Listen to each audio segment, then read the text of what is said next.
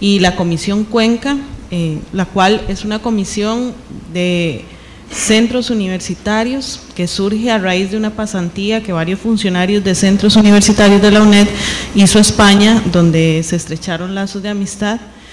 Y eh, a raíz de esa pasantía es que eh, hay un esfuerzo de parte de la universidad y de este grupo de funcionarios de centros universitarios de traer al señor Miguel Romero, director del centro asociado de la UNED en Cuenca. Le doy la palabra al señor Alan Jeep, administrador de este centro universitario.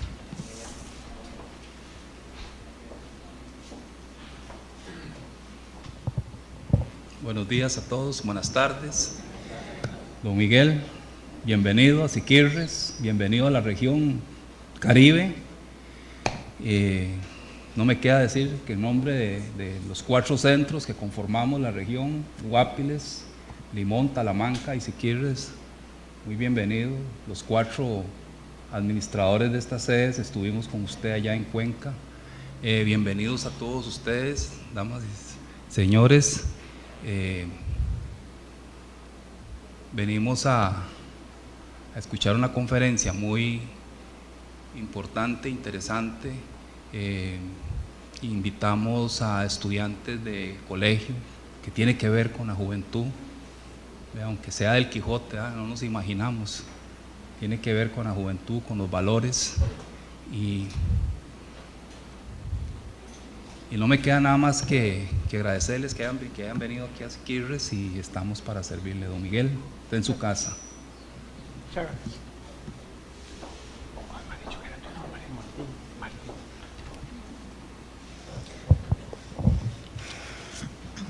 El tema de la conferencia de hoy es el Quijote como intercambio de valores y la modernidad de su mensaje. Nos acompaña el doctor Miguel Romero. Don Miguel es director del Centro Asociado de Cuenca de la Universidad eh, Nacional de Educación a Distancia, UNED España. El doctor Romero es vicepresidente de la Asociación de Castilla de la Mancha, de escritores de Castilla de la Mancha, académico de la Academia Iberoamericana de Escritores de Turismo, secretario general del Instituto de Estudios Conquenses para las Humanidades, doctor honoris causa de la Academia Latinoamericana de Literatura Moderna de México y miembro de número de la Cofradía Internacional de Investigadores de Toledo.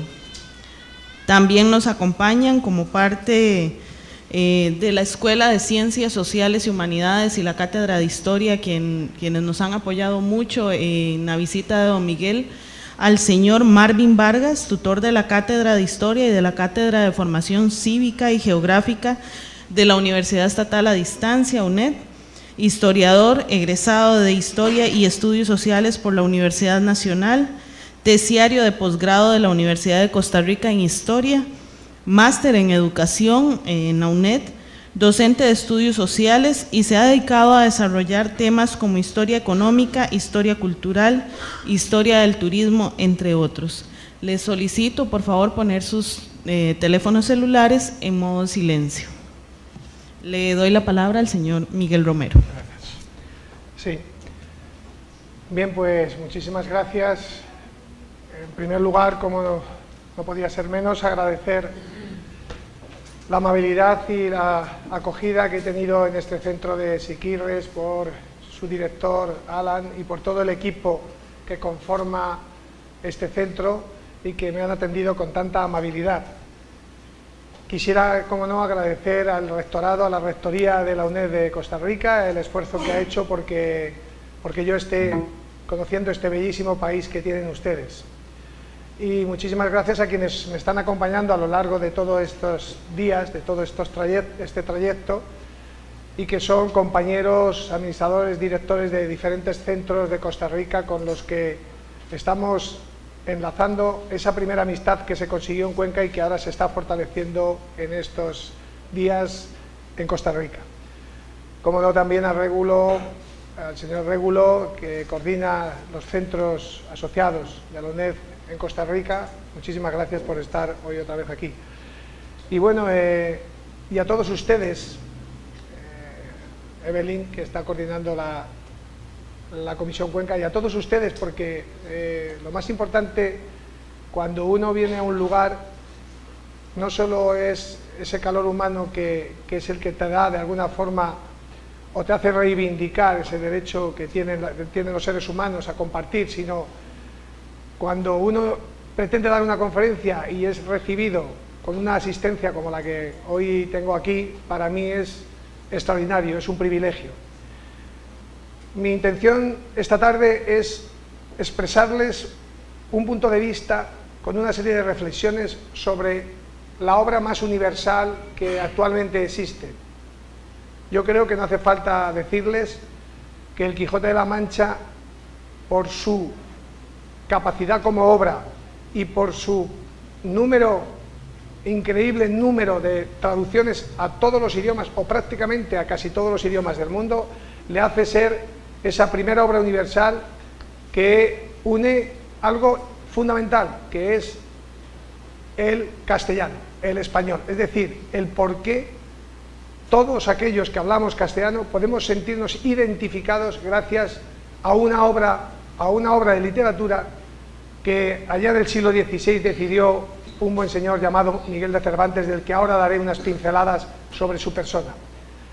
Para mí es inimaginable cada vez que me desplazo a algún país que no tiene o que no habla el castellano y sigue siendo el Quijote una obra para ellos fundamental para ese intercambio de solidaridad o ese intercambio simplemente de relación humana.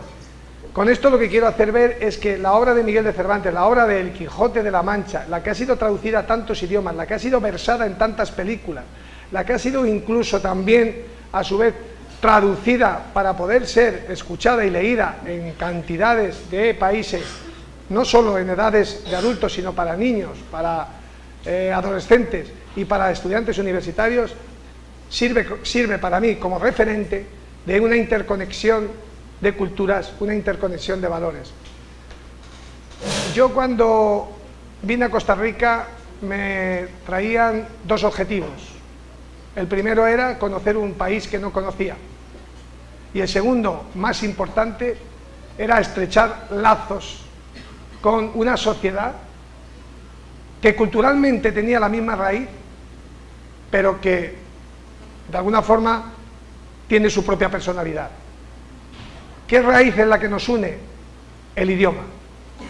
Ese idioma que de alguna forma nos mantiene culturalmente, de alguna, de alguna manera vinculados, es la que nos va a permitir a nosotros poder incidir en la obra de Miguel de Cervantes, El Quijote de la Mancha.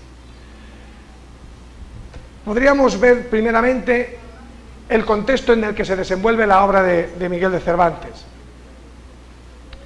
Antes de nada quiero presentarles el espacio de mi centro universitario de Cuenca. Ese es el edificio, si pueden observar, es un edificio de traza colonial, curiosamente en una ciudad que está en todo el centro de España y que de alguna u otra manera no tiene influencia de marina de ninguno de los mares, ni el mar Mediterráneo, ni el Cantábrico, ni el Océano Atlántico. Sin embargo, es un edificio de traza colonial.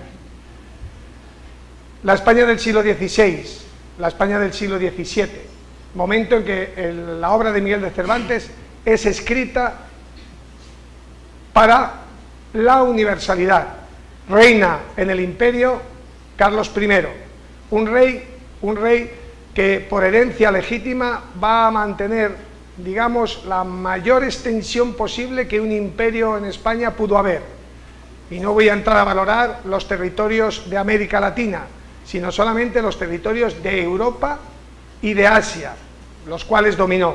En ese momento de esplendor, un momento de esplendor político, un momento de esplendor militar para España, se escribe una obra con una necesidad vital, y eso es lo que yo quiero ahora que reflexionemos. En un momento en que el imperio de España es el más grande, en un momento en que la grandeza, el orgullo, la vanidad de los grandes políticos de aquellos momentos están en su máxima expresión, se escribe una obra llana, popular, del pueblo bajo.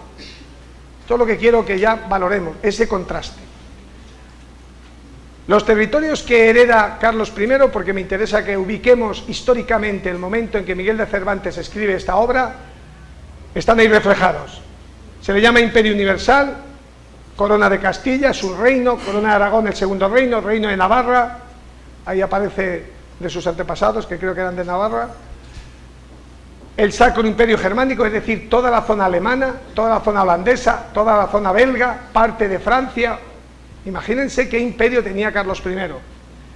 Franco Condado, Luxemburgo, Túnez, el norte de África, región de Lombardía, una parte del, norte de Italia, Sicilia, Nápoles y Cerdeña, islas del sur de Italia, Jerusalén, la tierra de Israel, que todos habéis oído y conocéis por lo menos de haberlo estudiado, Islas Canarias y tierras de América descubiertas, las tierras que en ese momento de América se habían, se habían logrado descubrir. Todo eso era el imperio de Carlos I. El momento en que Miguel de Cervantes nace y va a llevar a cabo la primera transformación de su vida.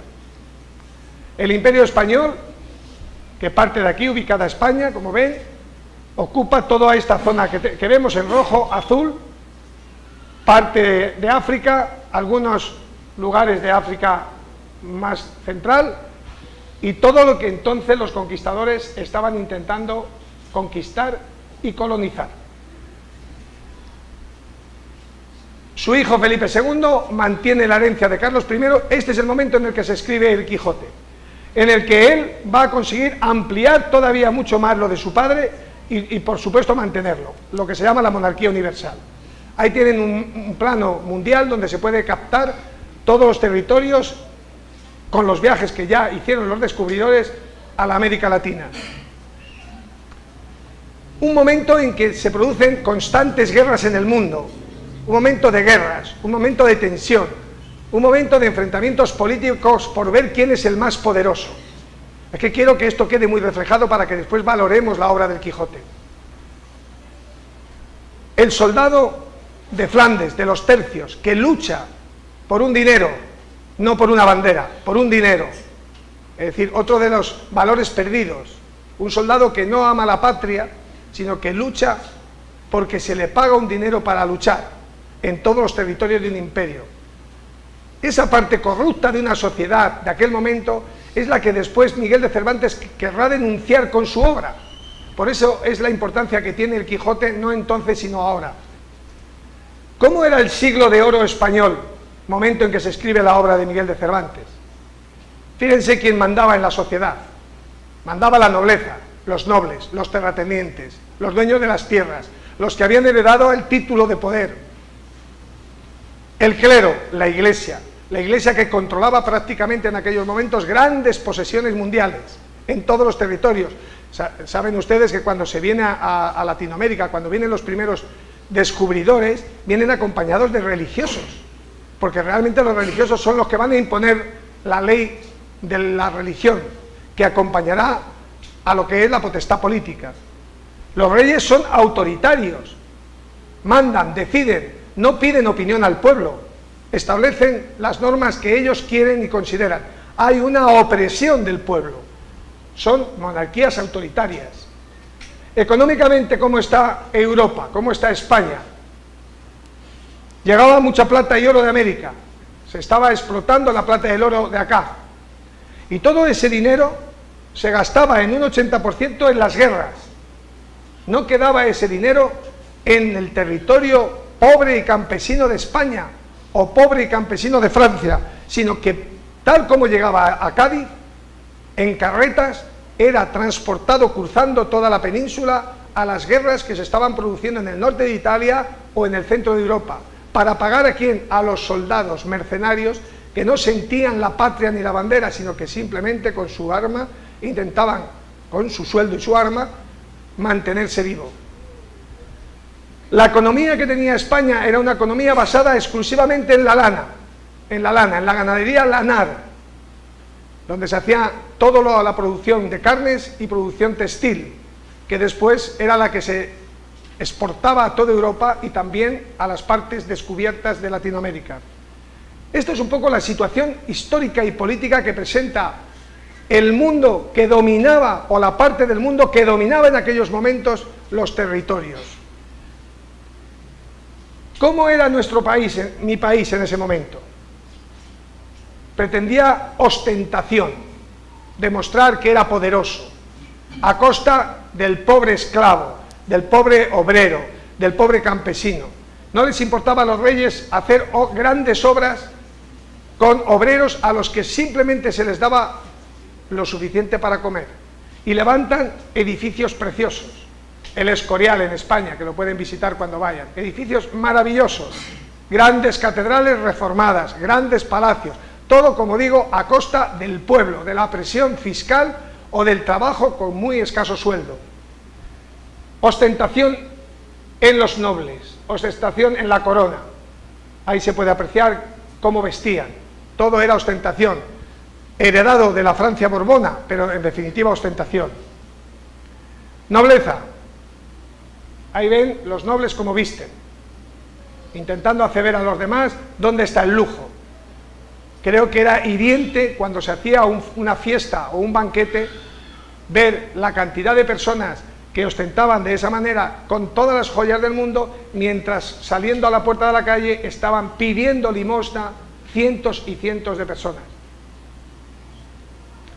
La pobreza, el contrasentido, las guerras, la tónica general del momento, la religiosidad exacerbada, los pícaros, aprovechándose de la pobreza, los pícaros, los que engañaban para conseguir vivir, y ahí es donde aparece don Miguel de Cervantes. Don Miguel de Cervantes es un hombre humilde, no es un noble, no es un rico, es un hombre hijo de un hidalgo, una familia humilde. ¿Dónde nace? Una incógnita. Documentalmente parece ser que lo que más, por lo menos parece ser que tiene más certeza es Alcalá de Henares, que, que algunos de los presentes la conocen porque una partida de bautismo encontrada refleja en qué lugar fue bautizado don Miguel de Cervantes y Saavedra. Sin embargo, hay otros lugares de España que reclaman la autoría, como es Alcázar de San Juan, donde también aparece otro documento que dice que en la iglesia de Santa María aparece bautizado otro Miguel de Cervantes y en vez de Saavedra tal cual, So o Vedra con C, C y Cedilla. Ahí hay una duda, cada uno quiere la autoría del, escritor más universal, es lógico. Cuando alguien crece y es famoso, todo el mundo queremos que sea nuestro. Lo cierto es que nace, presumiblemente, en una ciudad donde no va a reflejar su obra.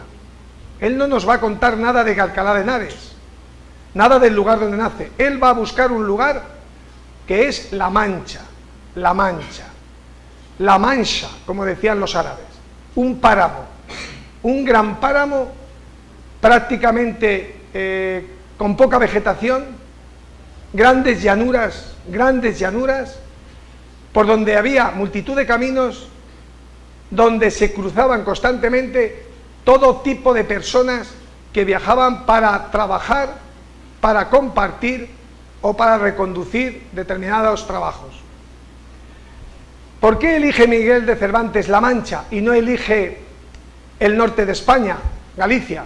o no elige Andalucía, la andaluza de, eh, los árabes o la andaluza del flamenco? ¿Por qué se va a La Mancha, a un centro de España, una zona que realmente, si, ahora lo conocierais, no es una zona agraciada, es una zona seca, es una zona bastante, bastante llana, donde los pueblos son pueblos blancos que no tienen riqueza cultural en cuanto a monumentalidad, y él elige La Mancha.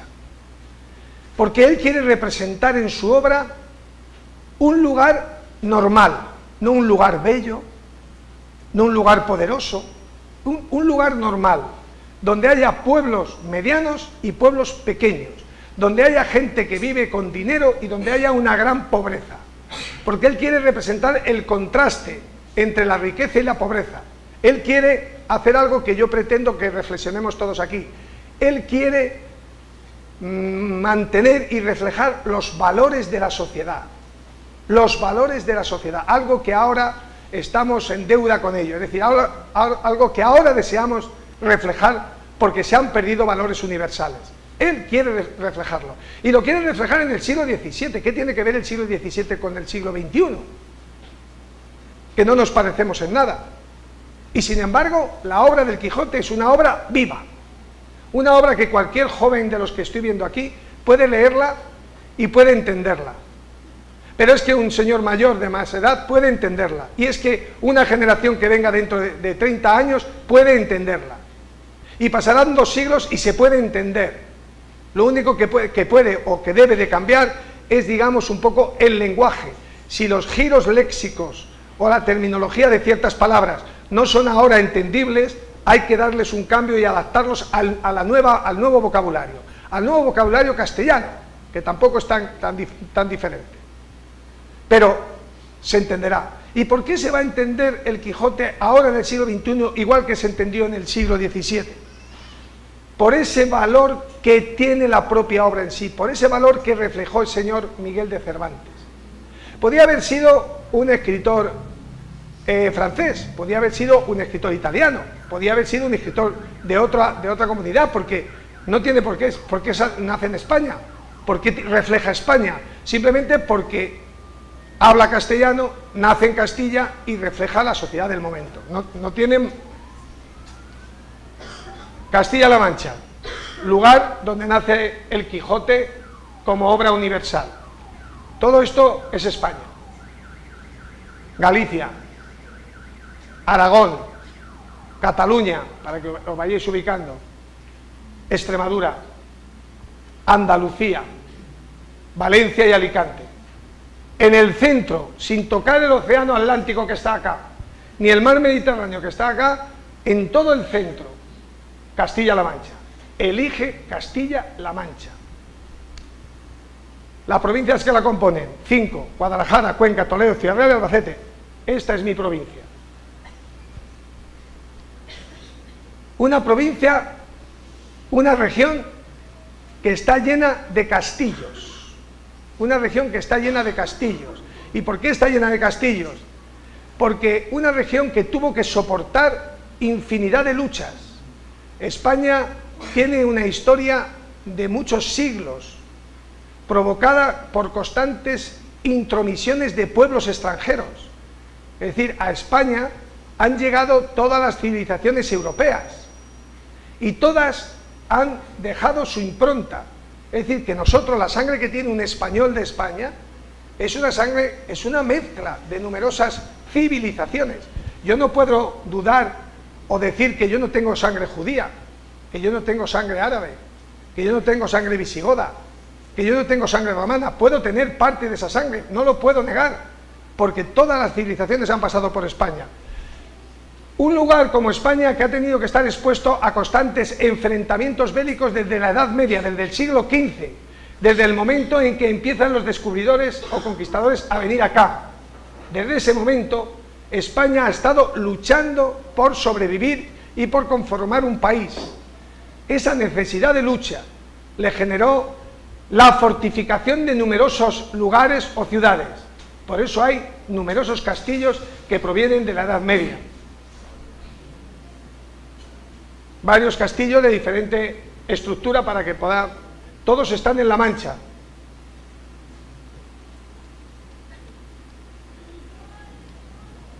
Molinos.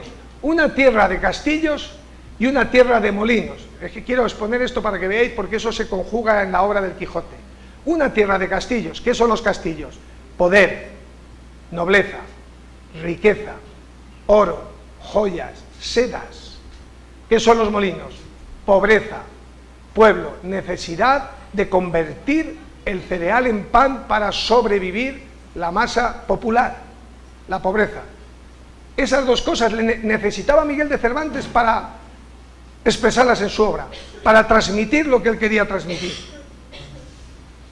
Molinos, molinos, molinos. Todos tienen la misma estructura, todos están en La Mancha en diferentes lugares. Don Quijote y sus gigantes. Cuenca, el lugar del que procedo. Y el centro. Bien, una vez que les he expresado estos dos aspectos, poder, nobleza, riqueza, pobreza, popular, costumbrismo, ahora hablo de lo que es la obra en sí. ¿Qué quiere criticar Miguel de Cervantes? Eso que quiere criticar es lo que actualmente está en vigor. Corrupción. Entonces había mucha corrupción. Ahora hay mucha corrupción.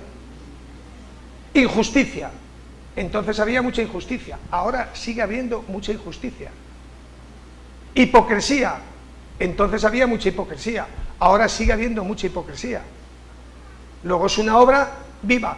¿Y quién, cómo lo refleja él en, Miguel, de Cervantes, en su Quijote? ¿Cómo lo refleja? Lo refleja con refranes, con metáforas, con algo que todos lo entendemos de una manera u otra, porque en todas las metáforas hay un mensaje, un mensaje intrínseco. En todas las refranes que nuestros abuelos han aprendido y mantienen y nos quieren trasladar a nosotros, se encierra la vida misma. Y él contrapone dos personajes. Contrapone Alonso Quijano, un señor alto, espigado, con coraza, con caballo, eso significa poder, que ha perdido la cabeza leyendo libros de caballerías. ¿Qué quiere decir? Que ha perdido la cabeza leyendo libros de fantasía, libros no reales, libros donde es más la irrealidad que la realidad que vive. Y para contraponer busca un elemento del pueblo y encuentra Sancho Panza, gordito, un hombre rudo, que come bruscamente con las manos, que no tiene cultura al hablar, que apenas las mujeres le hacen caso, pero que sin embargo es un cúmulo de realidades su vida, de refranes, de refranes reales, la fantasía, el idealismo de don Alonso Quijano con la realidad, el populismo de Sancho Panza. Y va a lo largo de toda la obra estableciendo un diálogo, un diálogo. ¿Por qué Miguel de Cervantes lucha contra los molinos creyendo que son gigantes? Porque ha enloquecido al leer tanta fantasía. Pero eso tiene un mensaje. Está luchando contra la realidad. Es ese político que hace su política sin darse cuenta de que el pueblo está pasando hambre y que si el pueblo no tiene, está pasando hambre y no tiene cultura, ese pueblo no me va a ayudar a mí. Está perdido en su fantasía, perdido en su irrealidad. Por eso los problemas políticos que tenemos ahora en, prácticamente en casi todos los países. Entonces, el hombre de a pie, el hombre llano, Sancho Panza, le hace a ver, señor, que es que son molinos, que no son gigantes. Callad, Sancho, ¿Qué decís vosotros? Esos son molinos, esos son gigantes. Son gigantes que vienen a por mí y tengo que ir a por ellos. Señor, que son molinos, que no son gigantes. Y no hace caso. La gente noble, la gente poderosa, los políticos no hacen caso. Cuando el pueblo reclama algo, cuando el pueblo exige algo, no hacen caso. Y al final se llevan el choque que se llevan, si quieren que la realidad se manifieste. Como veis, es un, contrapunto entre los dos criterios, los dos mundos, pero en una situación que se da en Siquirres, como se da en Cuenca, como se da en Cañete, como se da en París, como se da en Nueva York. Es decir, que no hay nada. El Quijote, voy a leer un poquito una cosa para que veáis, fue mucho más que una mera crítica de los libros de caballerías, porque en sí mismo contiene elementos satíricos de esa sociedad, de la política que vivió, y del poder y de las instituciones, pero en todos los sitios, aquí mismo también. Cervantes construyó un complejo y rico edificio, una obra abierta, como gusta decirse ahora. Por eso Don Quijote reúne en su persona un sinfín de valores. El Quijote, siendo idealista, siendo fantasioso, tiene en sí mismo un montón de valores que tiene que sacar, pero que no los saca. ¿Qué valores tiene Alonso Quijano, Don Quijote? Tiene Justicia, grandeza, bondad, libertad, idealismo, verdad, honradez, sacrificio, abnegación, renuncia, pobreza, ingenuidad, servicio. Todo eso lo encierra Alonso Quijano, pero no lo saca. Tiene que ir Sancho Panza a decirle, Señor, si sois muy noble, si sois muy buena persona, y el otro no se cree que sea buena persona. Si sois romántico, ¿por qué buscáis una mujer que es idealizada y que no es la auténtica? Acercaros a la Dulcinea del bar, a la, mujer más normal. No busquéis la Dulcinea princesa, que no existe. Pero él, como es un hombre respetuoso y puro, aún está idealizado y busca lo que no va a encontrar. Y el otro intenta hacerle ver lo que es la auténtica realidad. Pero es que Miguel de Cervantes, cuando escribe la obra, tiene también todos esos grandes valores. Miguel de Cervantes es lo que ahora sería un hombre progresista, hombre o mujer, un hombre o mujer reivindicativo. Mirad, Miguel de Cervantes en aquella época, cuando mandaba a Carlos I y Felipe II autoritarismo puro, él era humanista, libre pensador, revolucionario, rebelde, antifanático, azote de dogmáticos, subversivo, libertario, tolerante, liberal. Eso era Miguel de Cervantes, el autor de la obra.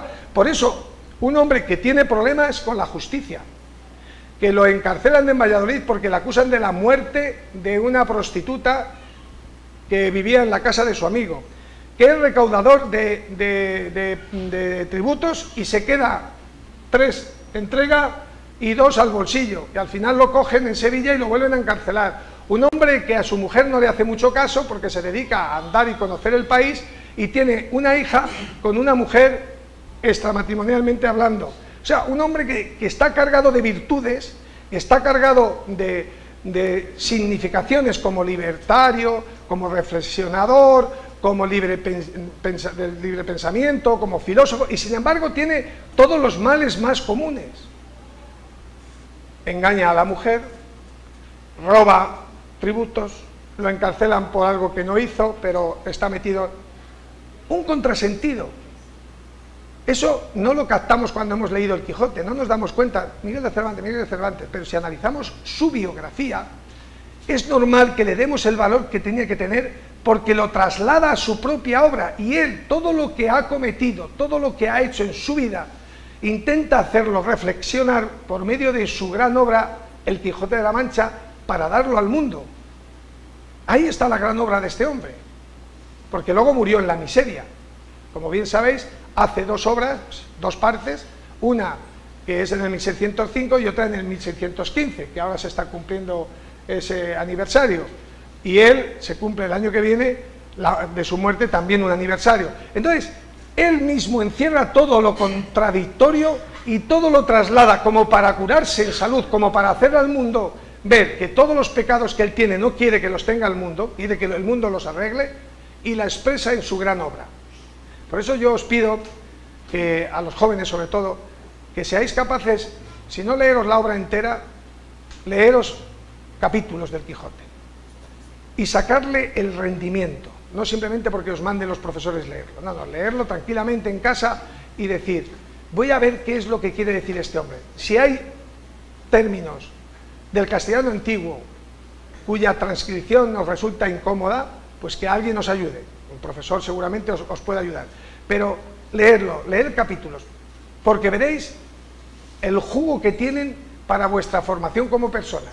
Es decir, porque la cantidad de valores que intenta manifestar por medio de historietas, por medio de enfrentamientos, por medio de aventuras.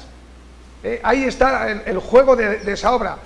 Una lectura fácil y cómoda te permite enriquecerte en esos valores que han sido siempre los valores eternos.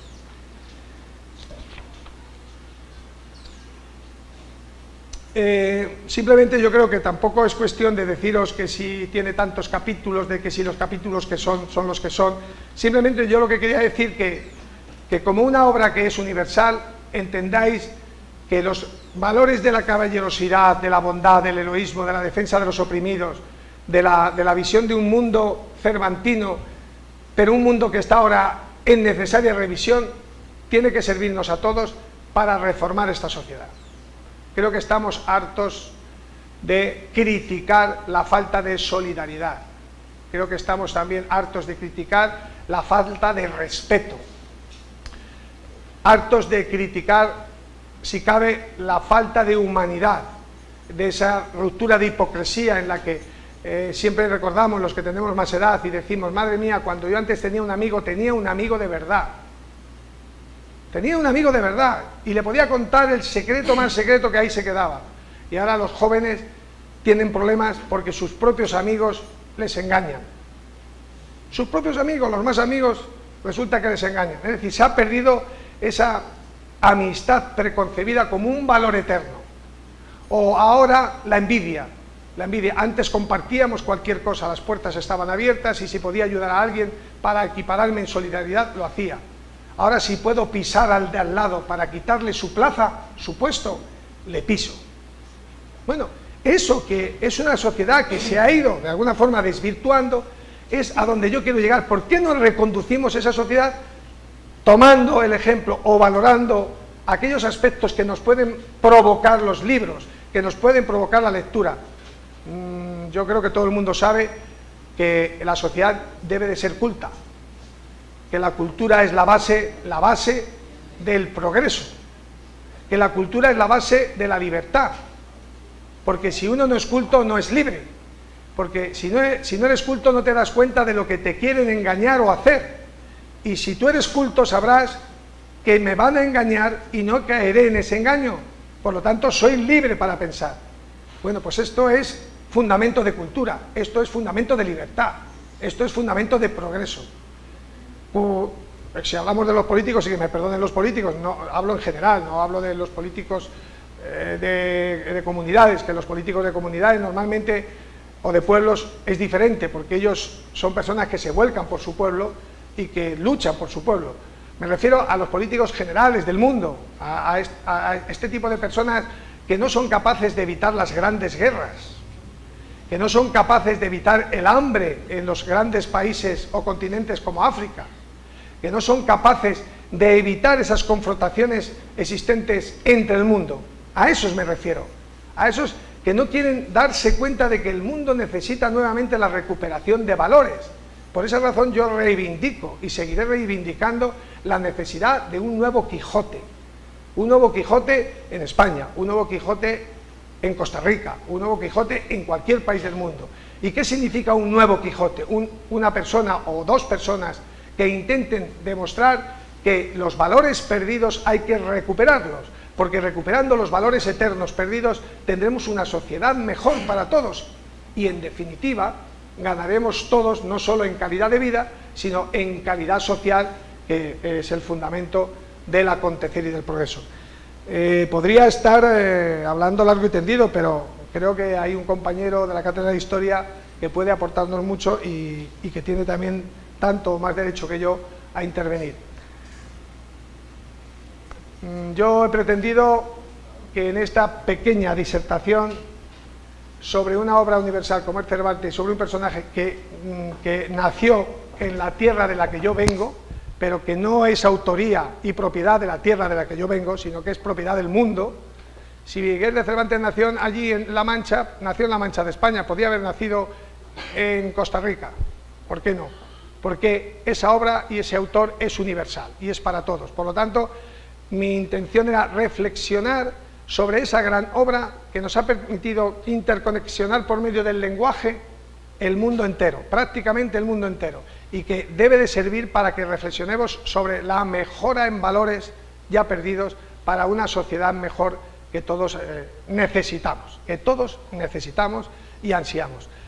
Si hay tiempo al final, si hay tiempo y ganas, y ustedes las, tienen, hay un PowerPoint sobre la gastronomía del Quijote. A lo mejor también les gusta conocer un poquito la gastronomía manchega, ¿eh? aunque su gastronomía, que eh, estén seguros que me estoy llevando un buen estómago de, riqueza gastronómica de acá. ¿eh? Llevo cinco, no sé los días que llevo, seis, y ya los pantalones que traje, llevo aquí esto, una marca, una marca que ya veremos cuando llegue a casa que me dicen. Es rica, es una gastronomía riquísima la suya, pero también me gustaría reivindicar un poco la gastronomía manchega española porque, bueno, también tiene su puntito y quién sabe si alguna vez ustedes van a ir por allá y pueden degustarla. Bien, pues muchísimas gracias y doy el paso a Martín. Gracias.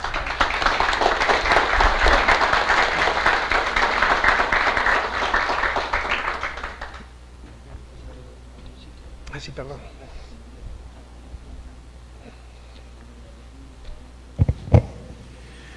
Bueno, muy buenas tardes, eh, bienvenidos a todos y a todas. Agradecer por el espacio a a la administración del centro universitario, también a todos los funcionarios de la UNED y por supuesto a ustedes, vecinos, eh, estudiantes, gente de la comunidad que han tenido la gentileza de acompañarnos el día de hoy. Bueno, eh, don Miguel ha hecho una exposición exquisita, ¿verdad? Creo que nos aproxima muy bien al contexto del, libro, la profundidad del texto. Entonces, eh, yo en lugar de referirme al texto, voy a referirme a cómo lo vimos desde Costa Rica.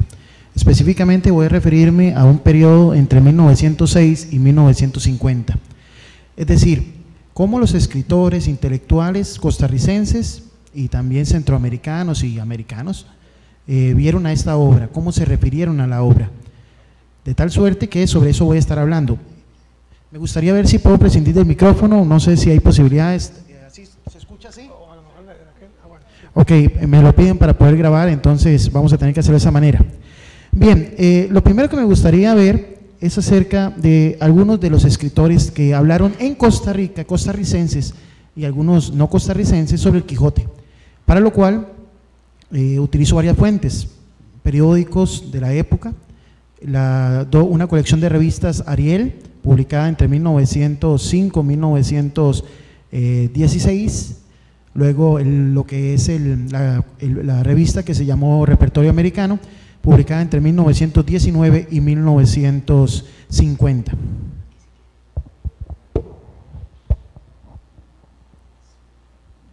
Muchas gracias, es que es mucho más fácil. Bien, entonces, eh, lo primero que me gustaría referirme es a algo que sucedió por ahí del 7 de mayo de 1905, en, la celebración del tercer aniversario de la publicación del Quijote. Esto fue un discurso que se dio en el Teatro Nacional en Costa Rica. Voy a referirme a palabras claves del discurso. Voy a hacer un análisis de contenido muy rápido de las palabras que utilizó la persona. Fue Antonio Zambrana, que hizo un discurso en 1905 y se refirió a la obra. Eso son, estamos hablando desde Costa Rica, ¿verdad? Desde 1905. Se hablaba de una obra bella y conceptuosa, así se le llamó. Hablaban de la universalidad del texto en 1905, de la esencia humana, de una protesta ante el egoísmo de la época. Interesante, cuando uno ve 1905 y ve todo lo que dijo Miguel hoy en el 2015, ¿verdad? Luego una, hablaban de la dicha moral para nuestra especie, el abordaje que hace en el discurso de la obra es comparándolo mucho con otras producciones europeas. Además, habla de algo muy interesante para 1905. Estamos antes de la Primera y Segunda Guerra Mundial. Habla de la importancia de combatir la división y separación de los pueblos. Esto fue un discurso emitido en 1905. Por otra parte, en 1913 y eh, hasta 1916 se encuentran también otro tipo de comentarios. Por ejemplo, eh, hay textos donde se compara y donde se habla de Cervantes, de Lope, habla los consejos incluso para leer el Quijote. Estamos en 1913, ¿verdad? Habla del entusiasmo y la alegría que debe verse en el Quijote, incluso desde la niñez. Eso es muy interesante porque en todos los lectores, eh, perdón, los escritores de la época hablan de la importancia del el Quijote a toda edad, para el niño, para el joven, para el adulto mayor y más adelante me referiré sobre eso. Bueno, además de eso, eh, el gran maestro Carlos Gallini, ¿verdad? Hace algo sumamente interesante. En 1916 se estaba celebrando eh, aniversario. Ya de la muerte de Cervantes. Recordemos que el próximo año vamos a estar celebrando 400, 400 años. En ese tiempo se celebraron los 300 años de la muerte de Cervantes. Y entonces comienza a hablar, eh, Gallini hace dos cuentos. Oigan el primer cuento. El primer cuento trata de, eh, de una persona que llega a una venta en Alajuela. Y esta persona vive algo muy parecido, una discusión con una moza, incluso sale golpeado y todo por defender una situación que es un intertexto del Quijote, pero en Alajuela. O sea, si alguien es de Alajuela, eh, ya para 1916 se jugaba un poco con estos, eh, esto que tiene la magia del Quijote, que el Quijote está vivo. Van a seguir saliendo nuevas historias y alguno lo ha visto andar por ahí. Bueno, Carlos Gallini lo vio andar por ahí, cuenta del pleito que se generó en Alajuela en 1916 en una, pulpería, en una especie de venta, y es un, intertexto de Don Quijote. Pero no se queda ahí, Carlos Gallini. Cuenta otro, y en este se encuentra un personaje por las calles. El personaje no sabe quién es, pero le, le habla de sus valores, lo que defiende y lo que lucha. Al final uno se da cuenta que se encuentra con Don Quijote, por las calles también de Costa Rica. Entonces ven qué interesante cómo ya desde hace más de 100 años se estaba viendo en, la literatura costarricense. Y me da mucha gracia porque incluso hace un juego también con el famoso prólogo de El Quijote, ¿verdad? Y le llama así, desocupado lector, sin juramento que me podráis creer de la primera parte esa historia es rigurosamente exacta, no puede asegurarse otro tanto que la segunda, pues yo mismo dudo la realidad e imagino todo lo que es la alucinación provocada por la semejanza de los llanos de la Juela con los famosos campos de Montiel. Esto es muy interesante porque, bueno, yo soy de la Juela, entonces verme, eh, digamos, reflejado la juventud y muchas cosas de la Juela, Todavía pienso, estos son nuestros bisabuelos. Es decir, es interesante ya desde Costa Rica cómo se comenzaba a jugar con el Quijote. Bueno, en otras publicaciones, eh, y esta quizás es una de las más llamativas de las que revisé, de Isidro Madrigal, eh, Marín Calderón. Ahí pongo algunos de estos eh, autores. Margarita Roja le llama románticos modernistas, ¿verdad? Algunos son poetas, son maestros, escritores, algunos yo sé que ustedes conocen esos nombres. Este Isidro Marín Calderón hace algo sumamente interesante.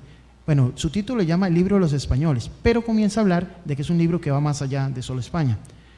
Eh, al inicio de, su texto dice, tengo mucho tiempo en escribir y le agradezco a Joaquín García Monque, que es uno de los escritores, editores, intelectuales más famosos de Costa Rica. En esta época incluso se encargó del repertorio eh, americano. Incluso él es el que incentiva a Carmen Lira a escribir y hasta le da el, seudónimo de Lira. Eh, él cuenta algo así como que tenía mucho tiempo de no escribir y que le agradece por esa oportunidad. Cuando uno lee eso, yo no sé por qué me siento como, como Cervantes también. Es decir, la magia de Cervantes trasciende incluso a, a los que hablan de ella. Se proyectan autores, se proyectan situaciones. Y vean qué interesante. Comienza a evocar de que hace unas semanas, dice este autor, leyó una nota en el periódico donde se habla de que hay una relación entre el suicidio y la lectura, ¿verdad? Qué interesante. Y dice que aspecto que ha escuchado mucho hablar a los curas sobre el tema. Como dijo muy bien Don Miguel, el tema, recordemos que está la Santa Inquisición también, y el Quijote tuvo que sortear mucho de esto, de un proceso de la Santa Inquisición. Entonces, bueno, solo con esa parte. Luego más adelante hace algo sumamente llamativo. Bueno, además de comparar con, con Homero, con la Divina Comedia, con el Paraíso Perdido, comienza a decir de los Quijotes y los Sanchos de América, y también los de Costa Rica. Y dice, el verdadero Quijote americano cree en las instituciones republicanas que tanto se destacan en estos países y que se toman en pecho las elecciones no más como distracciones periódicos, el que riñe por cuestiones políticas sobre las entidades o propósitos, que no existen más que matar y atacar los círculos gobernados después del sacrificio que nacen, con otra, eh, además de las otras personas.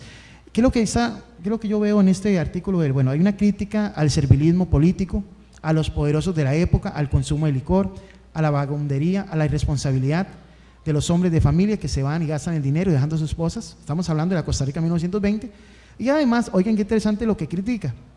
Critica a aquellos que, por decirlo así, venden ¿verdad? su nombre y venden todo por las ínsulas en forma de agencia de policía o de jefatura política o puestos políticos. Es decir, ¿quién sabe qué estaba viviendo este personaje entre 1900 16 al 20, que le, le hizo pensar en esto. Bueno, luego está Carmen Lira, y yo creo que todos aquí sabemos quién es Carmen Lira, ¿verdad? Eh, por supuesto, de sus cuentos infantiles, pero también tiene cosas que van más allá.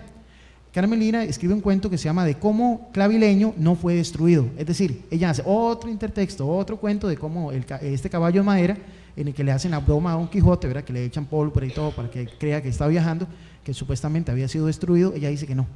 Y comienza a contar cómo no ha sido destruido.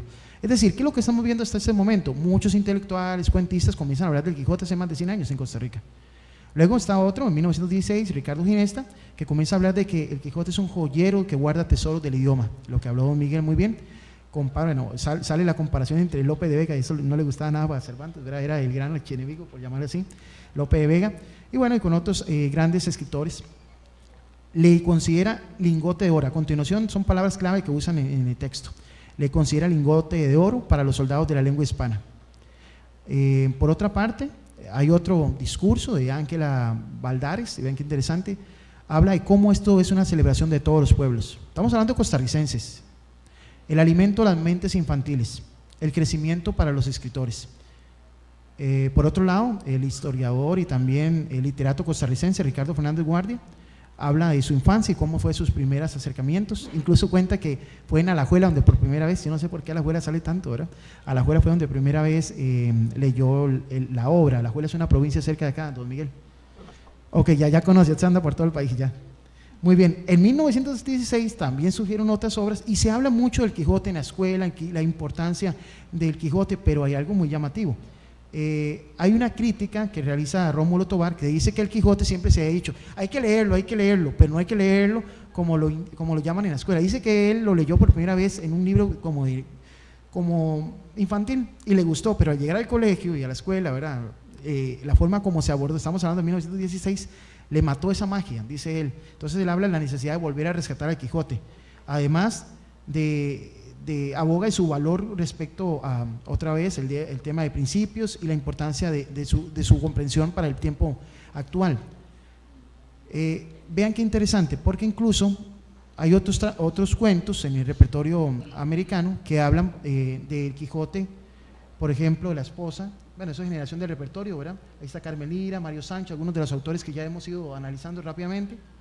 Y hay algunos poetas, por ejemplo, hay poetas, eh, está Villo Celeón, también, por ejemplo, eh, Cardona, es decir, gente que lo comienza a analizar desde Costa Rica también y comienza a hablar la importancia y las potencialidades que tiene el Quijote para ser abordado en las escuelas. Pero dice que no solamente en las escuelas, es que es el asunto. Eh, don Miguel dijo algo muy interesante es un hecho social, es decir, eh, es la oportunidad de compartir con los demás. No se debe limitar a un aula. El Quijote va más allá y García Monge también lo subrayó en, 1916 la importancia de que el Quijote se saque de las escuelas. Eh, que se hable, que se trate de él, que se interprete, pero ojalá en otros espacios y, el, diariamente. Al Quijote incluso se le comparó con Simón Bolívar. En un artículo publicado en 1930 por Miguel de Oramuno, bueno, se habla comparando al Quijote con Bolívar se habla de Bolívar como genio hispánico de la guerra, pero también se habla de Don Quijote ¿verdad? y se hace la comparación de algunos de sus aspectos, porque él se cuida diciendo que hay aspectos burlescos del Quijote, y en eso no quiere comparar a Bolívar, sino en su sueño, en su capacidad, en, en la idea que el amor y la no ambición, la no codicia y el deseo de no conseguir aplausos. Yo creo que algo también muy importante que tenemos hoy es que todo el mundo quiere sentirse reconocido, y eso también es un problema en las comunidades cuando la gente lo que quiere es figurar, o en los colegios, o en las mismas universidades, en los egos académicos. Esto que estamos haciendo hoy es una gran oportunidad. Hay que llegar a las comunidades, hay que trabajar con la gente. Aquí le apuesto que hay más de uno que aquí está sentado, ha leído bastantes veces el Quijote, tal vez sepa muchísimo más que, bueno, que su servidor, ¿verdad?, sobre el Quijote. Eh, eso es una oportunidad, volver a, revestir la importancia también de llegar a la gente, ¿verdad? Habla también de la humildad, eh, de, tenía, ¿cómo se llama?, em, Bolívar y le llama a la, a unidad de Bolívar, le llama Sancho. Bueno, también hay una visión de 1936 hacia el 37 en la cual busca, por ejemplo, cómo se vería el Quijote en América. Entonces, este autor que se llama Armando Solano, publicando en, Costa Rica, eh, dice lo siguiente, ¿cómo sería la comparación del mundo americano? ¿Cómo se ve al indígena, al mestizo? Y él lo que resalta del Quijote la sensibilidad ante la situación. Y yo creo que Miguel lo contó muy bien, todo lo que estaba sucediendo en la época que le tocó a Cervantes vivir. Es decir, al traerlo a valor latinoamericano, a traerlo a valor de América, es entender el valor del Quijote para la crítica social, el momento que toca, las injusticias, lo que están viviendo. Y por supuesto América Latina, es muy evidente que el nivel de, de injusticia es todavía enorme, ¿verdad? Y para la época lo era usan frases tan interesantes como esta, la relación entre pasado y porvenir. La importancia de la lucha, resalta este autor, sacrificio y dolor, la firmeza, el propósito en la vida. Estamos leyendo 1934, ¿verdad? Vean qué interesante. Además de eso, bueno, dice algo muy, muy interesante. Dice, este libro eh, no es tan leído en España como se cree y casi desconocido en América, dice Armando Solano, 1936. Resalta el valor de enseñar a humanizar la economía. Oigan qué interesante esto dice que el Quijote debería servir, así casi literalmente lo está diciendo, para los estadistas, para los administradores y la gente que maneja el dinero, para que entienda cómo humanizar la economía, 1936. Y entender el mundo. Y después, bueno, nos encontramos eh, un poco más de, de em, escritores que ya para la década del, 40 y el 50 comienzan a hablar también del Quijote. Eh, Mario Sancho, eh, la parte de la filosofía, eh, también Mirta Aguirre, entre otros autores que por ahí, de, por, ahí de 1940 y 50 comienzan a hablar del Quijote. Hay algo muy interesante. Vean, eh, voy a, ya con esto voy concluyendo esta parte, ya porque sé que no quiero atiborrarlos con este análisis, pero quería ofrecer algo diferente a, lo que yo sé que don Miguel iba a desarrollar. es que en 1950 se crea un artículo de Luis eh, Sueta, y él viene a decir algo así, de que el Quijote tiene validez en su tiempo. Estamos, imagínense en 1950 y dice, ante el progreso de la tecnología y la ciencia que hoy se vive, y además del veraneo de la juventud actual y de las posibilidades de unir al mundo, el Quijote hoy tiene más importancia que nunca. Habla de la nobleza y el valor que tiene este texto para poder sacar esos espíritus nobles. Entonces vean qué interesante, porque uno podría imaginarse que el Quijote simplemente ha sido abordado, ¿verdad? Mucho desde afuera, o que no había sido abordado por nuestros escritores o nuestros intelectuales, pero hemos hecho un viaje más o menos hace 100 años y vemos que el Quijote estaba muy perenne en la mente de las personas, en estos intelectuales, maestros, y, eh, que comenzaron a hablar del Quijote. Pero el Quijote no solamente se quedó en la literatura, vean esto por ejemplo, bueno, ahí está lo del repertorio, ¿verdad? Eh, se usaba mucho el logo del Quijote, muchos dibujos. Recordemos que en el repertorio, en la revista Ariel, muchos de los grabadistas costarricenses comenzaron a, a poner sus obras. Había hasta un periódico, hubo en 1906, 1908, un periódico que se llamaba Quijote y otro que se llamaba Sancho, y era de burla y sátira política. El Quijote, es decir, ve qué interesante como sirve incluso para inspirar la elaboración de periódicos, pero no se quedó ahí, también fue a la plástica, y bueno, eh, esto es algo muy llamativo, ¿verdad? Tenemos una, eh, un grabado de Max Jiménez y además del famoso eh, Carlos Salazar Herrera, recuerdan esos cuentos de angustias y paisajes que él mismo los graba. Eso es parte también de cómo el Quijote sobresale de la parte del texto y se va a otras obras. En Costa Rica también son esas tres obras. En la primera eh, tenemos Sancho, Sáenz, y el último autor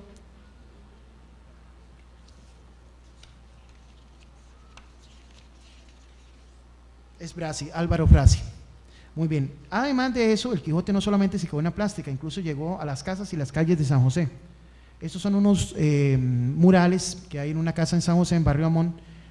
Este señor eh, literalmente lo que quiso es que la gente se enamorara del Quijote y por ahí de 1950-60 se hicieron unos grabados y cuando usted pasa por la calle, por Barrio Amón, algunos se pueden ver desde la calle.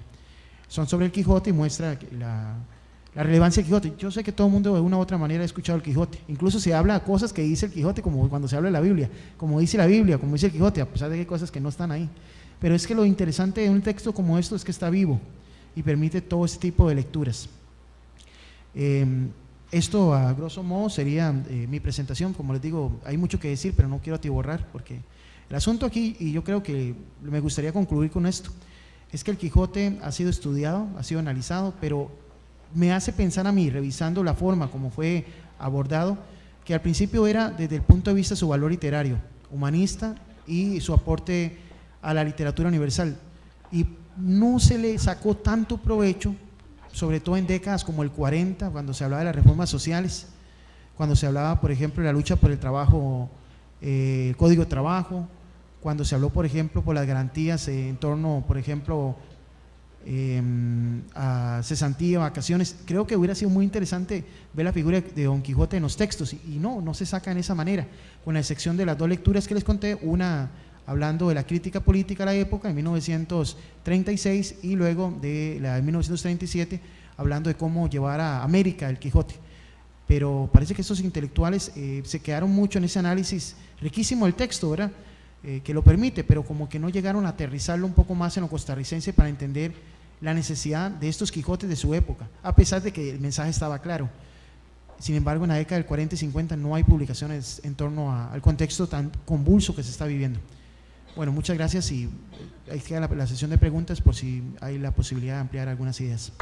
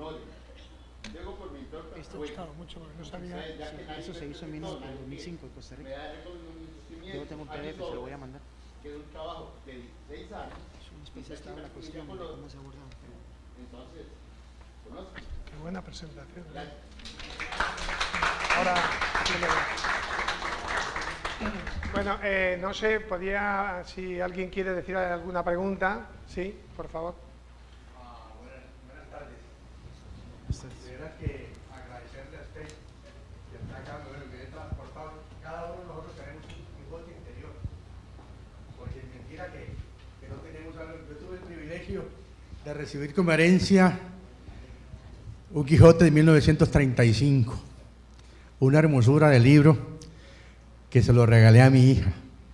Me dice, papi, regálamelo. Digo, mami, bueno, es mi hija y se lo regalé, porque fue una herencia que me dejaron desde 1935. Yo le dije a usted que mi abuelo era de Navarra. Yo le pregunté, tengo muchas cosas, no españolas, porque nací en Colombia, pero llevo 44 años aquí en Costa Rica y, soy, y fui estudiante de este centro universitario, aquí me gradué. Pero hoy esa charla suya y ese movimiento suyo del baile allá, qué barbaridad. Felicitarlo porque de veras algo tenemos de los españoles, ¿verdad? Y eso eh, del Caribe, y espero que se lleve ese poquito del Caribe que presentaron los estudiantes acá de nosotros, que fue maravilloso. Y lo vi ahí, de veras, compartiendo con ellos, y eso vale mucho. Espero que eso se lo lleve adentro, que cuando llegue allá a Cuenca, le diga lo que vivió con estos muchachos que creo que con esta charla que usted le dio ya les va a gustar leer El Quijote, porque es un libro maravilloso. Un libro que, que lo llena uno. Cuando yo lo leí, al principio no lo entendí, pero después, poco a poco, cuando lo volví a leer, ya le encontré un poquito más. Y hoy usted me dio un poco más todavía.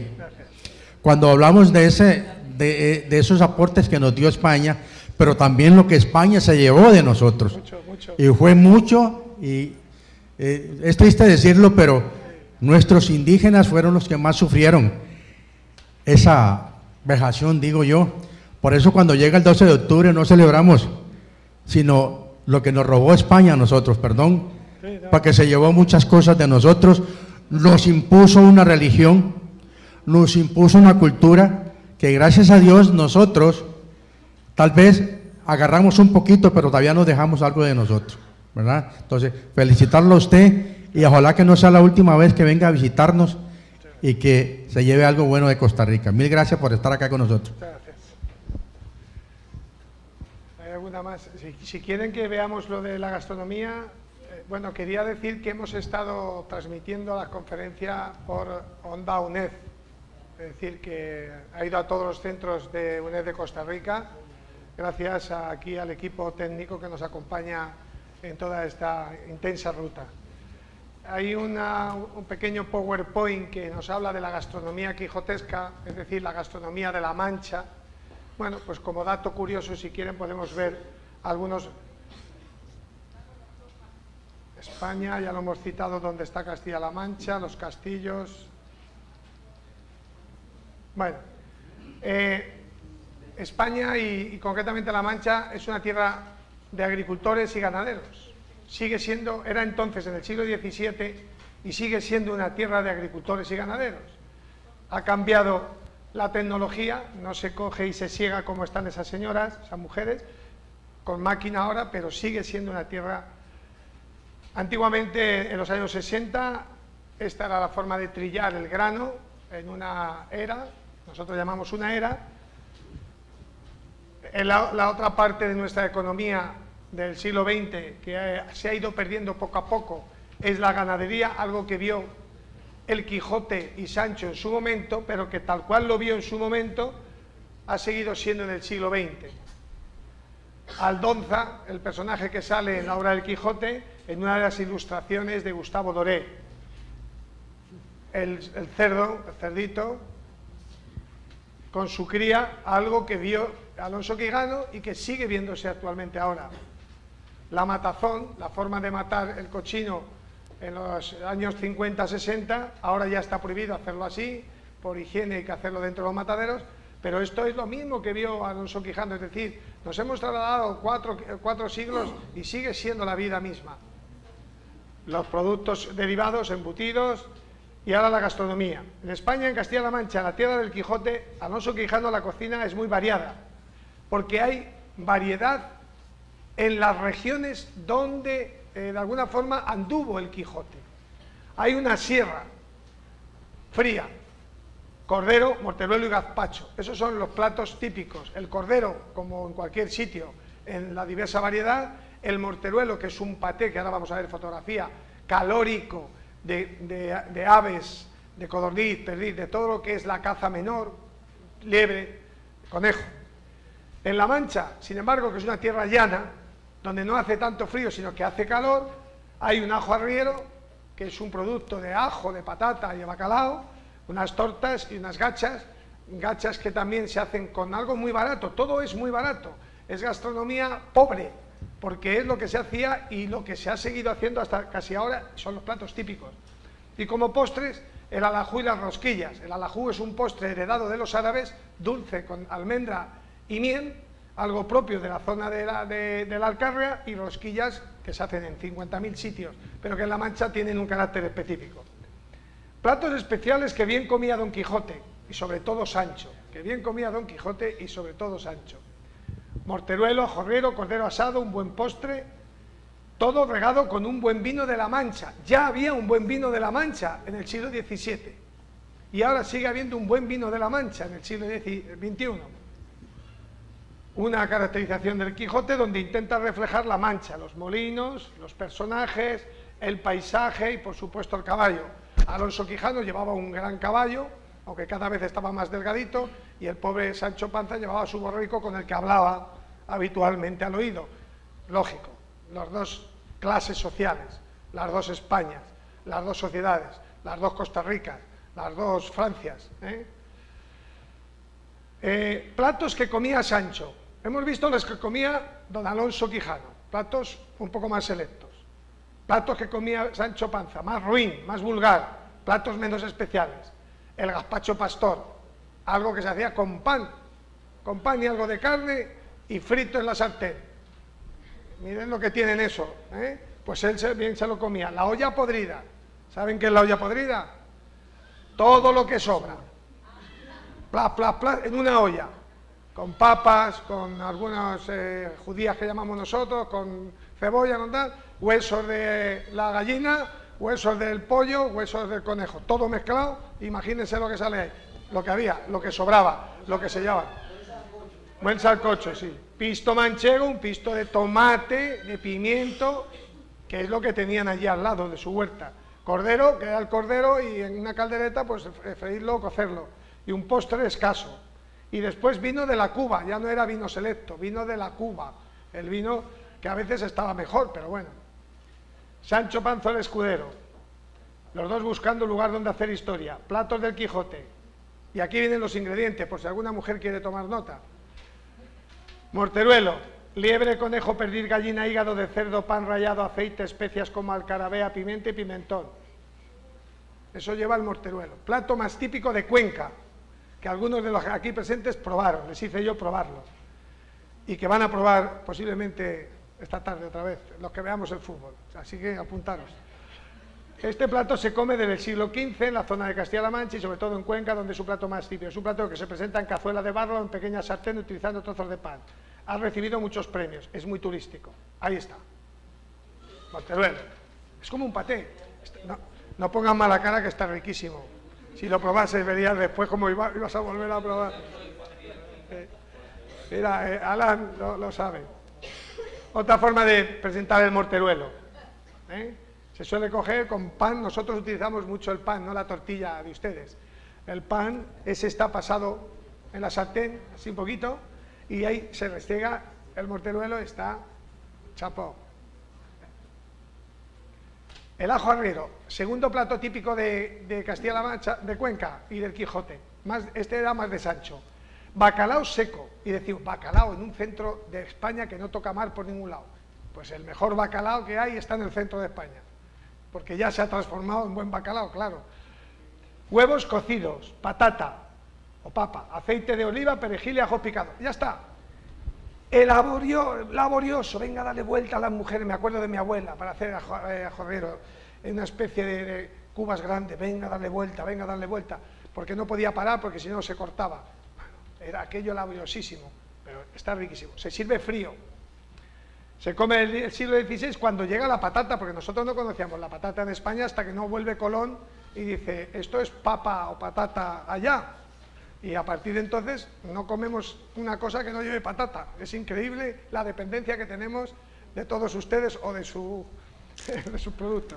Laborioso, se sirve frío, lo tomamos a los arrieros, en algunos sitios lo llaman atascaburras. Es un plato muy turístico. Este es el ajo arriero. se sirve frío. En, el mortero, con el ajito y con el, bacalao y la, y la papa.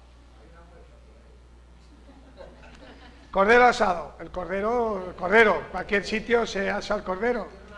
Una cosa es echarle vinito, otra cosa es echarle no sé qué, y cada uno dale su toque, pero es cordero asado, no tiene más vuelta de hoja, ¿no? Parece que nos está entrando un poquito de... ¿eh? Vale. Viñedos. Los viñedos típicos de allá, de Castilla-La Mancha, tenemos buen vino, afortunadamente, y una cultura en vino que ha ido mejorando. Bueno, pues son los viñedos de un vino manchego, ahí intento expresarlo con esos eslogan, las bodegas típicas de Cuenca o de Castilla-La Mancha, donde se cuida el vino en, barrica, que se llama, durante un tiempo, barricas de roble, roble americano en muchos casos, cada X tiempo hay que cambiarlo. Este es el jugador del Barcelona, Iniesta. ¿Alguien es del Barcelona? Iniesta, que, tiene, que tiene una, su propia bodega de vino. Es manchego, él es manchego. Yo soy del Madrid, pero bueno, aunque sea del Madrid, yo lo acepto a, Hombre, es que Keylor Navas está ahí, ¿eh? plato de Sancho Panza, bueno, gazpacho pastor. El gazpacho pastor, que también es un plato pobre. Perdiz, liebre y gallina. Es que eso allí en, La Mancha, en la, sierra está. Tú sales al campo, ahora ha habido un poco menos, pero hay liebres, hay conejos. Entonces es cazarlos. Y luego la gallina, la gallina es gallina, o sea, no tortas finas de pan hechas para esto, aceite de oliva, pimentón y sal y pimienta, que no tiene cosas especiales. Bueno, pues es un plato que se come en el 16 y después eh, se enriquece cuando viene el pimentón de Oriente. De gente rural y pobre, lo comía Sancho Panza, como es lógico, así estaba el hombre. Gazpacho pastor, eso es un gazpacho pastor.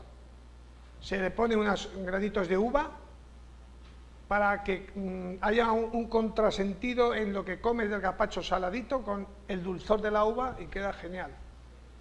Bueno, gazpacho pastor, plato con pocos ingredientes, ¿eh? es decir, no es un plato rico ni, ni, caro. La olla podrida.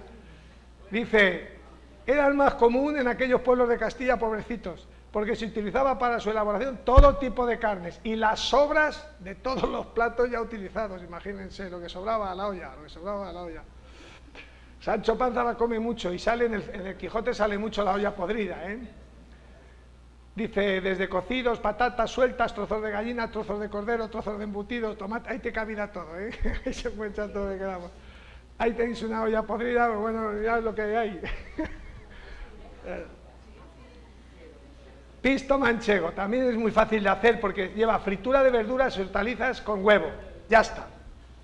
Verduras, hortalizas con huevo. Es un plato que a mí me gusta mucho. O sea, que no lleva, los ingredientes son todo cordero en caldereta. Bueno, plato ya, trocitos de cordero, ahí cocinados en la lumbre.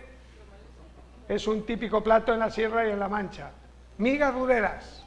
Esto es pan, troceadito, pan, con aceite, ¿eh? y se le echa algunos tropezones que llamamos, algunos trocitos de carne, pero de carne que pueden ser de tocinete o jamón o algo de eso, pero trocitos como tropezoncillos. Es simplemente pan, ¿eh? pan frito. Y esto se lo come la gente como si fuera aquello que es muy barato de hacer y cobran lo que quieren, claro. este plato da mucho juego. Hay los platos del Quijote típicos, todos puestos en la misma. Este es el líquido dulzón de crema de café que se toma después habitualmente allá, sobre todo en época de la Semana Santa. Después, mientras las procesiones, los nazarenos beben mucho.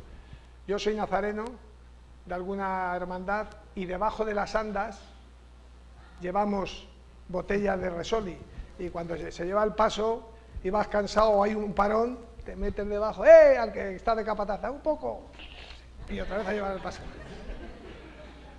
Esto es eh, el alajú. Esto lo damos de los árabes. Es unas tortitas así redondas que son de miel con almendras. Está muy bueno, pero bueno, tampoco es nada del otro mundo. Las casas colgadas de Cuenca es una botellita con, resoli. La, digo aquí lo que todo el mundo sabe. La gastronomía es la cultura del pueblo, de cualquier pueblo. ¿eh? Por la gastronomía nos conocemos. Y el, el, recuerdo bueno que nos llevamos o malo depende mucho de la gastronomía, a veces. ¿eh?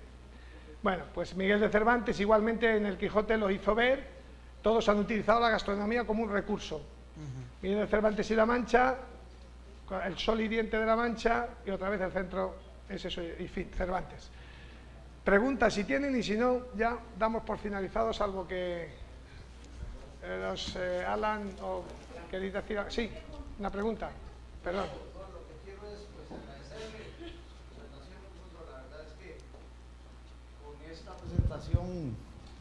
Eh, la perspectiva de la forma de ver y entender el, Quijote, después de tantos años, ¿verdad? Después de incluso en, el colegio, esa alergia que le da uno a veces a, qué pereza leerlo. Qué diferente sería que en el Ministerio de Educación tomaran la decisión de, de trasladarle este mensaje a nuestros jóvenes para que ellos lo vean desde otra perspectiva y le tomen más el gusto y digan, sí, voy a leerlo. Pero a veces nos atiborran de literatura, nos dan una lista como así de libros, ¿verdad? Y, muchas veces no nos dicen para qué y por qué hay que leerlo. Simplemente nos dicen, eso es lo que tienen que leer. Y entonces a veces los muchachos se ponen rebeldes y más ahora con la tecnología y todo el asunto, creo que sería interesante que el, Ministerio de Educación, yo soy educador físico, no trabajo en aula con, literatura y eso, pero sí creo que debe cambiar la forma de hacerle llegar ese mensaje a los jóvenes nuestros para que le tomen más el gusto a este tipo de literatura. A mí me ha servido porque hoy, por primera vez, estoy viéndolo y entendiéndolo diferente. Eh, vengo de parte del Consejo Municipal y lamento que mis otros compañeros no estén por acá yo siempre trato de asistir siempre y cuando mi trabajo me lo permita y, gracias a Dios pude asistir y, de verdad muchas gracias y, que ojalá que siga haciéndolo más seguido, que lo podamos tener por acá más veces, ¿verdad? Gracias. Bien, hay una, perdón, ahora dejo sin intervenir, un segundito. Hay una, también algo que yo eh, pediría a quienes tienen la posibilidad de hacerlo y es decir que existiera la posibilidad de que cada Quijote se adaptase al castellano de cada zona.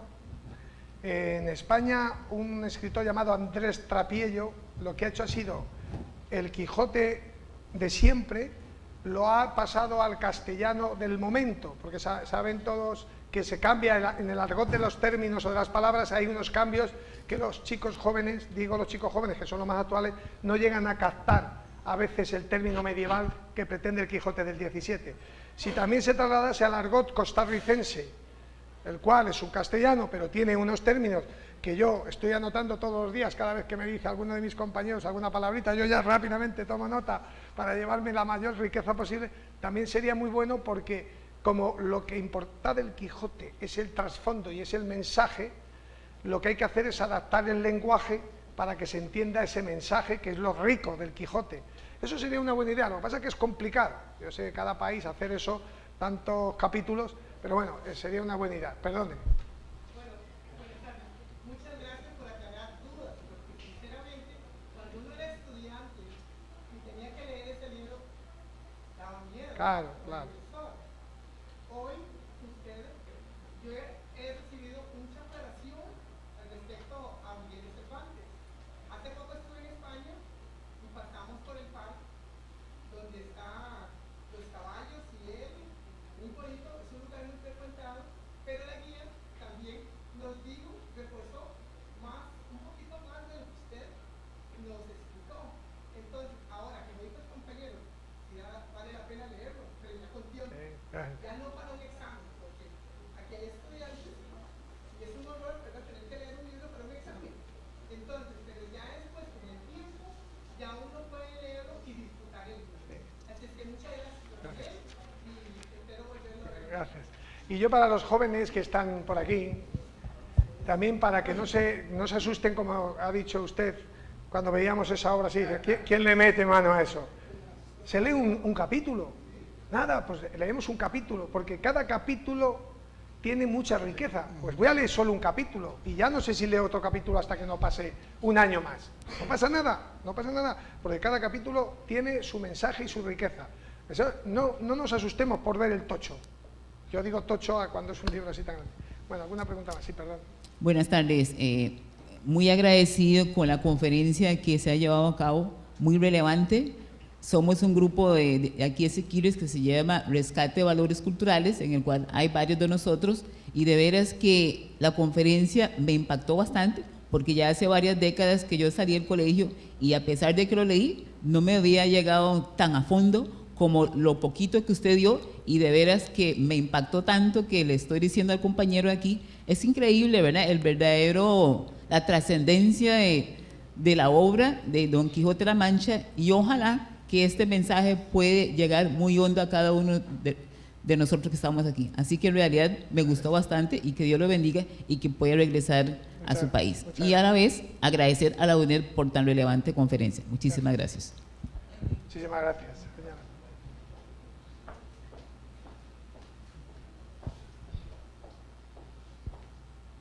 Bueno, buenas tardes a todos los presentes, don Miguel. Siento que las palabras que han comentado por acá todos es porque nos ha calado la perspectiva con la que se está abordando el Quijote. Igual me tocó en el colegio leerla y yo creo que por encimita uno entiende más la ficción de lo que se trata de asociar el caballero de la época que el mensaje que usted nos dictó acá hoy. Y comparando la exposición del compañero que tiene en mesa, a pesar de la época el mensaje es el mismo. Comparar una sociedad con una gran desigualdad y que a los ojos de muchos la ignoramos o hacemos lo posible por omitirla. Esto nos deja como enseñanza que tenemos que empezar a tomar con mayor cuidado todo lo que está a nuestro alrededor. Y si lo hizo en aquel momento Miguel de Cervantes, como lo hace ese escritor español que usted mencionaba ahora, traerla a la época, es obligación de todos tenerla presente, día a día vivirla. Como representante de la alcaldía municipal y en representación de la señora alcaldesa hoy aquí presente, para mí esto ha sido muy rico culturalmente. Y le doy gracias a la UNED a don Alan que me invitó como exalumno de la UNED. Créalo que me lleva una experiencia muy importante. Y aunque por efecto de tiempo, tal vez al caballero no se le presentó mientras estaba en la conferencia, yo iba viendo los cuadros y me impacta mucho también el tipo de cuadros. O sea, cuando uno pone en el detalle de la imagen, se lleva mucho de lo que en aquel momento en el colegio se vivió a través del libro. Entonces, comp- comprendo esto como un contexto que tenemos que seguir enfocando no solo en lo que vivimos en una época, no, traerla y proyectarla hoy a lo que nos va a utilizar un cambio generacional para ver la vida de otra manera. Muchas gracias.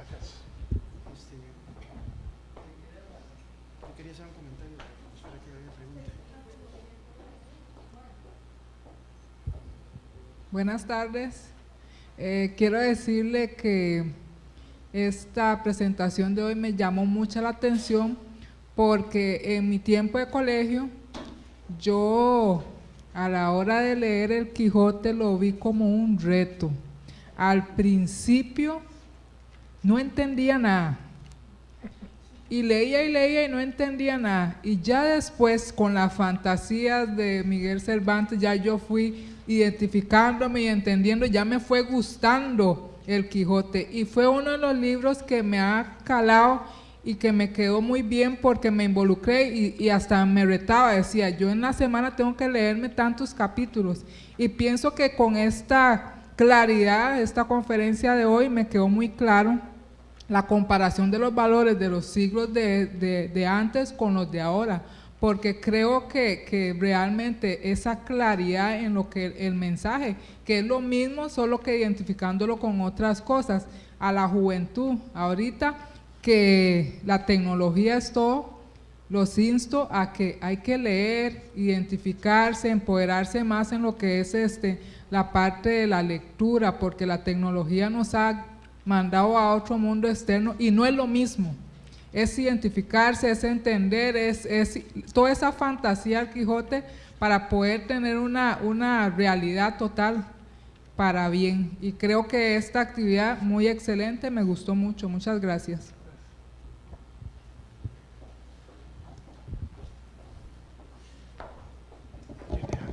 Sí, eh, me gustaría robar un segundo nada más para contarles. Vean, este libro eh, fue publicado en Costa Rica en el 2005. Recopila algunos de los aportes de escritores costarricenses en la plástica y en la literatura. Si alguien está interesado, yo lo tengo en PDF. Este libro fue publicado eh, con el Ministerio de, de Juventud y Cultura y este libro trae imágenes sumamente ricas, ¿verdad? Eh, de grabados, de pinturas, sobre lo que es el Quijote. Si alguno estaría interesado, yo se lo puedo pasar en PDF. Creo que esto también hace, eh, es un homenaje también, porque hay mucha gente que ha escrito sobre Quijote en Costa Rica y aquí se sintetiza. Y también es un intento por volver a sacar la novela, sobre todo su valor, ¿verdad? Que creo que ha quedado muy claro el día de hoy. Además de eso, aquí tengo un ejemplar de una de las revistas de 1913, publicada en Costa Rica, Don Quijote, por si alguien quiere verlo al final. Gracias. Sí, eh, en primer lugar, muchísimas gracias a, don Miguel y a, y a Martín. Eh, el Don Quijote es contemporáneo y mantiene esa condición y la mantendrá. Eh, tan es así, ¿verdad? Que el efecto en, el arte, por ejemplo, el día de hoy tenemos una exposición aquí de don Juan, de don Juan Brenes, fundamentada en el Quijote. Entonces, eh, la importancia y la trascendencia que ha tenido esta novela, esta gran obra, eh, se refleja hoy día también aquí en, en esta exposición que don Juan ha querido compartir con nosotros y que les recomiendo a los presentes que, que aprovechen la oportunidad porque efectivamente es una colección, como él dice, de 16 años y que voluntariamente decidió compartirla con nosotros el día de hoy. Entonces, es una invitación al público presente para que aprecie la obra de don Juan y, don Miguel, a ustedes reiterarle el agradecimiento porque esa corrida que nos hizo de España, pues nos trajo gratos recuerdos. Muchísimas gracias. Bien, pues vamos a. Yo quería, antes de que finalice las palabras, simplemente traje la maleta un poco cargada con sobrepeso, casi, casi llega la maleta porque se perdió y llegó a, y en esa maleta pues traje algunas cositas para los centros donde voy participando. Eh, Nosotros en Cuenca tenemos una tradición mm, ceramista bastante importante con art- artistas del barro, donde la cultura íbera marcó mucho para la decoración y luego tenemos nuestras casitas colgadas, que es lo que siempre sale de Cuenca cuando alguien se mete e intenta localizar dónde está esa lejana, esa lejana ciudad. Esto quería yo de dárselo, entregárselo al Centro Universitario de Siquirres por haber permitido que hoy esté yo aquí con todos ustedes. Una experiencia que no, no podré olvidar, no en, en muchos años, nunca, y que intentaré regresar, si, si es posible, y con nuestro pequeño logotipo. Y sí que quería también aprovechar para felicitar al señor Juan Brens, al que he conocido hoy, porque creo que ha sido un acierto que en una conferencia sobre Quijote impartida al unísono en- entre estos dos historiadores, que estemos rodeados del halo pictórico de esa figura emblemática que fue don Alonso Quijano y Sancho Panza. Muchísimas gracias, enhorabuena por esa gran obra y entrego esto al señor director o administrador de este centro. A ti.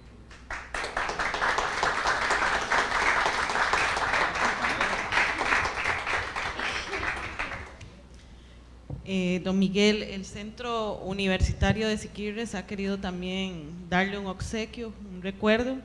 Eh, esperamos que le guste y eso es de parte de todos los funcionarios de este centro universitario.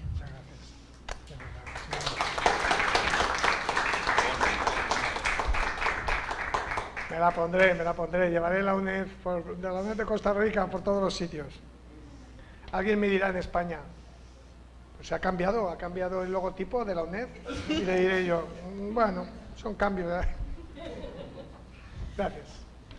Queremos darle el más sincero agradecimiento a todos los que nos han acompañado hoy, agradecer a la Escuela de Ciencias Sociales y Humanidades eh, por, por el apoyo en esta actividad, en presencia de don Marvin Vargas, a don Juan Brenes y los invitamos a que se acerquen y vean la obra, va a estar eh, abierto hasta las 7 y 30, igual a- aquí en la parte de, en la otra parte están otras, otras obras para que las puedan ver y disfrutar. Y también los invitamos a un concierto de Calixto que va a ser aquí al lado derecho del centro universitario. Muchas gracias y buenas tardes.